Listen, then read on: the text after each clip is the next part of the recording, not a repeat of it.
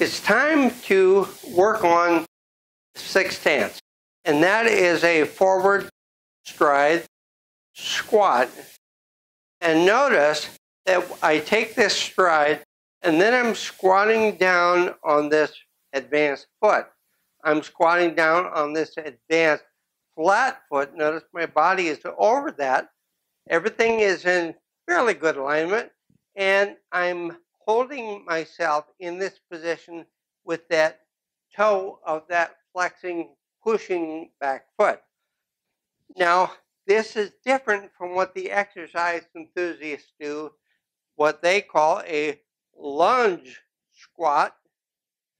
Here, the body is in the middle between both feet, and they're squatting here and you and supporting themselves pretty equally on both feet.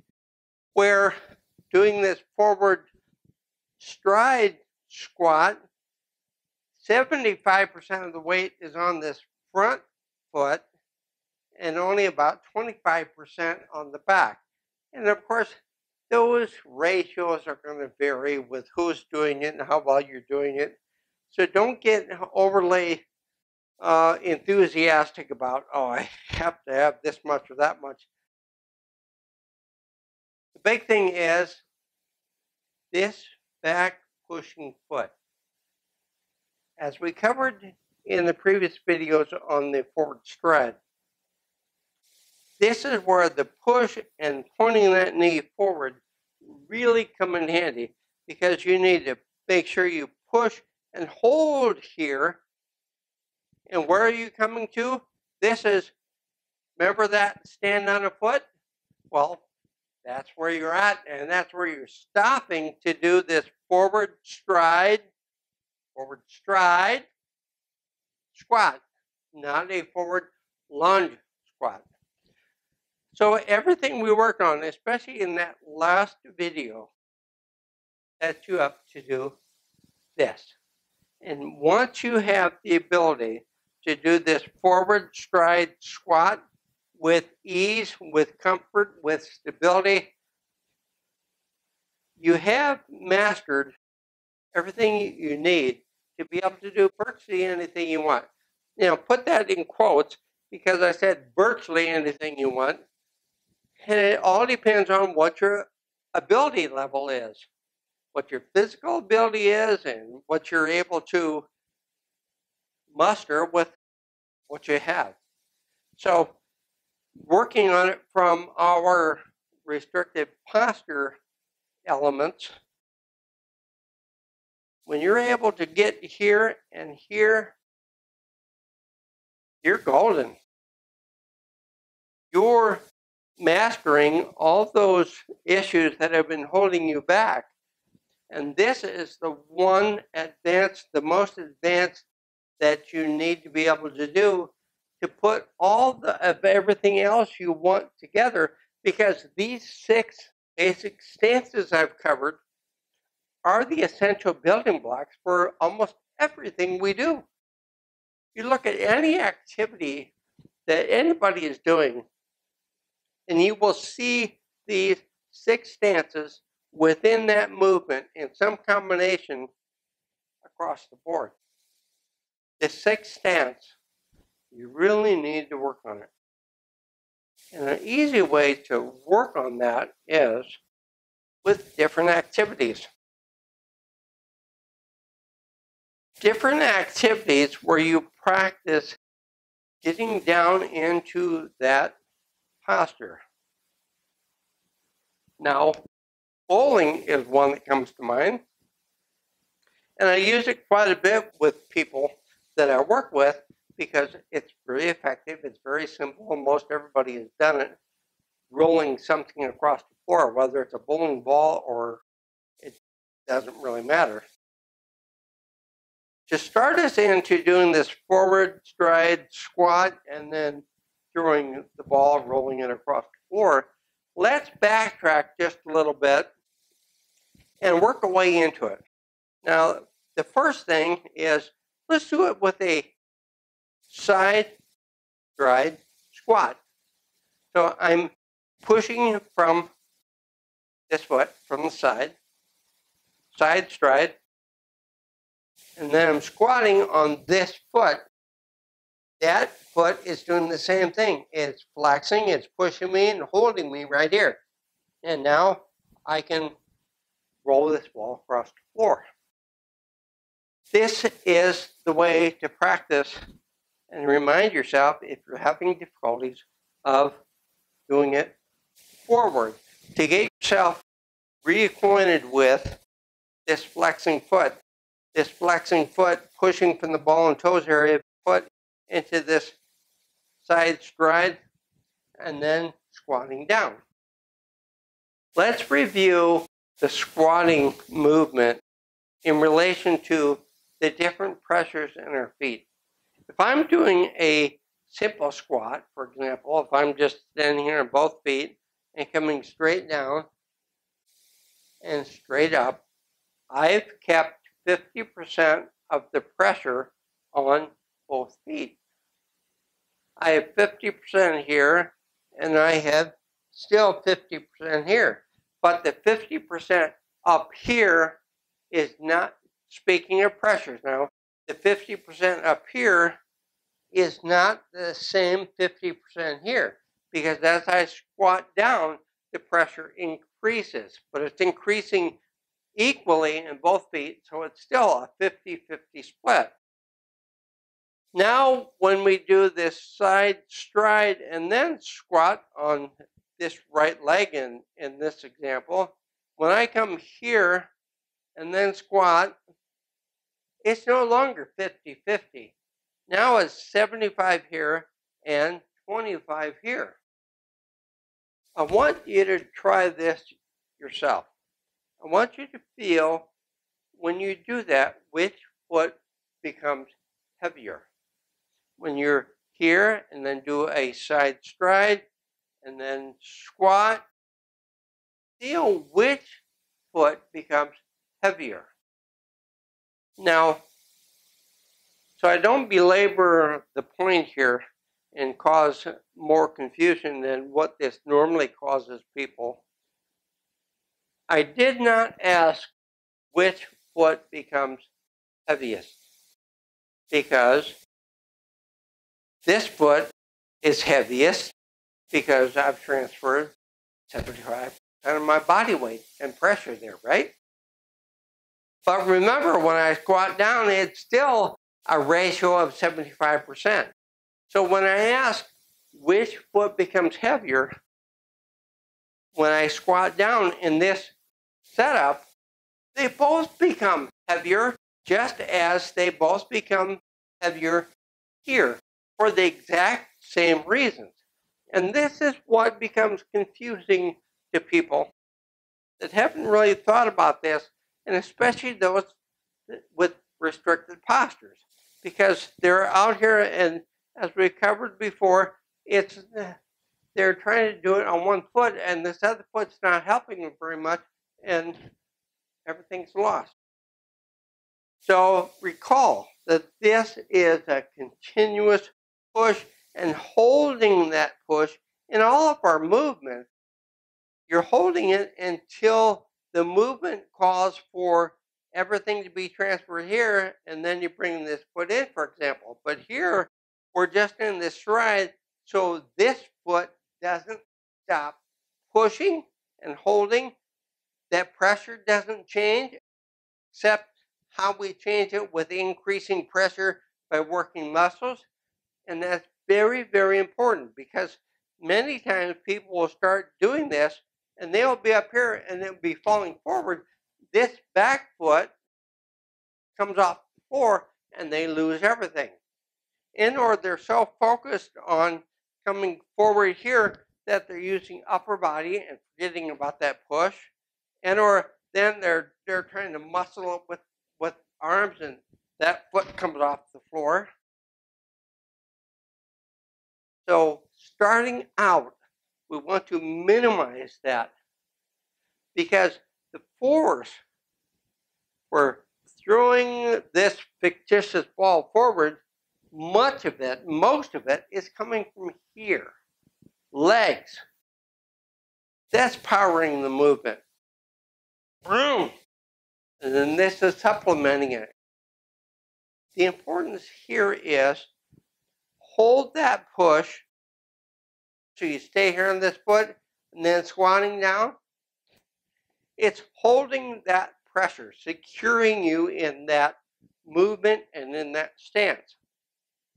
So practice all of that here, a side stride, squat, and feel that pressure in both feet increase as you come down. And doing this, people always answer that question that I ask which foot becomes heavier with, well, this one, because I'm squatting over it. It's the mind forgets about this one. So work on that. I want you to, on purpose to focus on that pushing foot to come over here and hold it there as you do this movement. Focus on the lesser pressure of the foot that's pushing you into the movement, holding you in the movement and on this flat foot, and then do it. Don't become over focused here because too many of you, when you're having difficulties with your posture and the movement, you'll over focus here. Forget about that most important foot over there that's controlling the movement, and you'll cause yourself problems. Focus there, push, squat, throw. Now, you have to also push your body over here far enough to get this arm outside of your body here so you can move that ball. Those of you that are standing here on this inside pressure and then squatting down, well, that hand's going to be here and you're going to be having to do all sorts of weird things with your arm just to throw that ball. Perfect this. Boom. Where are you moving to on this foot? Right in the center. Flat foot.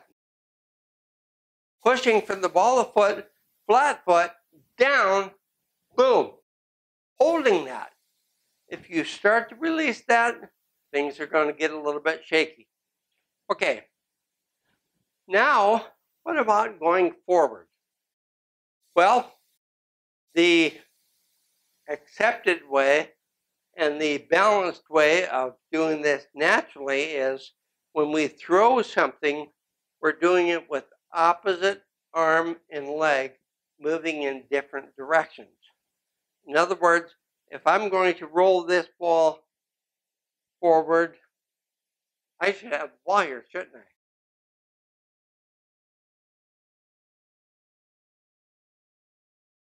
If I'm going to roll this ball forward, I want to push off of this right foot.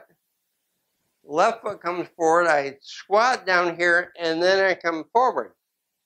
Okay. That's how we normally do it. But for those people with a restricted posture, that sometimes becomes difficult and it becomes destabilizing. When they come here and here, I want you to consider a rectangle where right now in this rectangle, my feet are on the back two corners of it. And when I come forward, this foot is going to be in the left front corner of that rectangle, and this back foot is going to be in the right back corner of that rectangle. And the point is this. They're throwing this ball this ball is a one kilogram ball, by the way. So when they're throwing that, this weight is coming forward, and or even when it's a lighter ball, their shoulder and arms coming forward. And the problem is this corner is unprotected and they fall out of it. Because this weight moving forward is destabilizing to them because you should know the answer to that because because they haven't secured their foundation up. They haven't come down and increased that pressure And typically, it's they don't have this pressure back here enough to hold them here. So all this movement out here in that unprotected corner is stabilized with the feet. Also notice, if I failed to mention it before, this is not squatting down with one knee. This is squatting down with both knees. You're increasing the pressure into both feet. You're grounding both feet. You're increasing that stability in both knees squat. If you're just trying to squat on one, you get something that looks like this. And that's what many of you will do. And what happens with that? You probably already know. Right out the front. Because the pressure in that back pushing foot was very weak.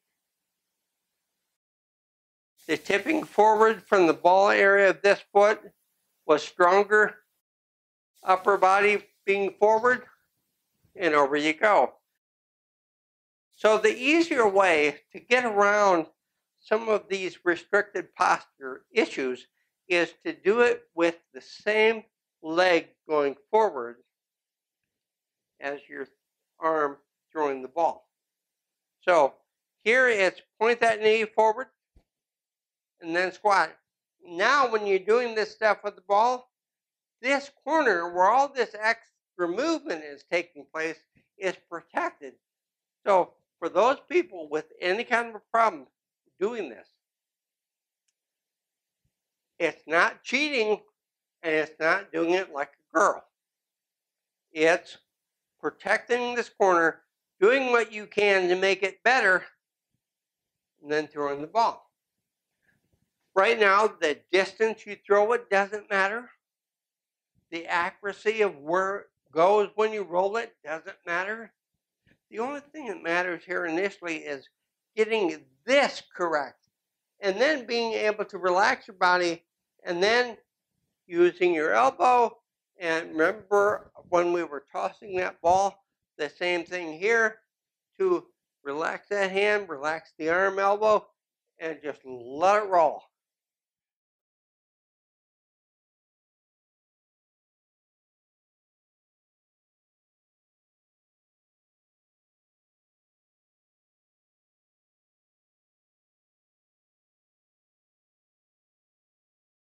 But if you don't have the support foundation down here, it's not going to happen. The other point is you want to be able to squat down low enough to get a weight on here towards the floor. So you're not throwing it up in the air and bouncing it. Down. Both knees. Once you become more stabilized with that, then it's opposite and down. And if you continue to have a problem, don't worry about which one goes forward. Do the one where you're the most stable, the one that gives you the best chance of success, the better ability. It's okay. I like to use this weighted ball when I'm working with people because it challenges them to get down a little bit further because this takes a little more effort to throw, to roll across the floor. So the further they come down, the more power and support they're going to have down here, and the better they're going to be able to do up here. Practice this. Don't worry about staying here in the middle and squatting down right now unless you can do it. If you don't have a problem doing that, hey, go for it. As an exercise, as a strengthening and agility exercise, all that good stuff. But for throwing the ball, you're not going to be back here you're going to be up here. So there is a reason, and there's a different activity that goes along with both. So work it, play with it, have some fun with it, challenge yourself, challenge yourself with other people doing the same thing, rolling the ball back and forth. But you must be out there doing it. You must be practicing this. And this is leading up to another big point that we have with these restricted postures. What is the one thing that is the scariest thing that you do? The scariest thing is going down steps.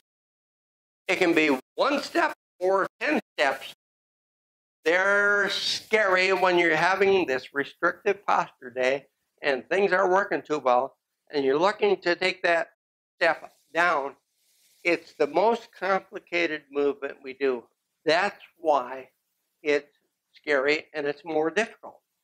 Going upstairs is not as bad. That's a forward lunge, essentially squat, because as you're going up, you're squatting, or maybe not physically squatting, but getting the same pressure on that front foot and pushing to go up. But coming down, it's different. It's scarier. It makes us stiffen up, even when we're trying not to. There's some complexity about it that just makes it something we'd rather not have to do. And we will be covering going up and down steps in detail. But the preparation for it is the sixth stance. And as I just said, that's for you to go upstairs. Coming downstairs, much more complex. So there's still another something in the way that we're going to be covering to prepare you for going downstairs. Whether it's one step, 10 steps, whatever, doesn't matter. A step is a step, and especially down, especially if there's no handrail. So you must work on and perfect this forward stride squat to be able to go on and do the rest and to be able to do everything else you've been doing even better. So, if you made it this far, you're on a roll and So, let's get to it. Happy practicing.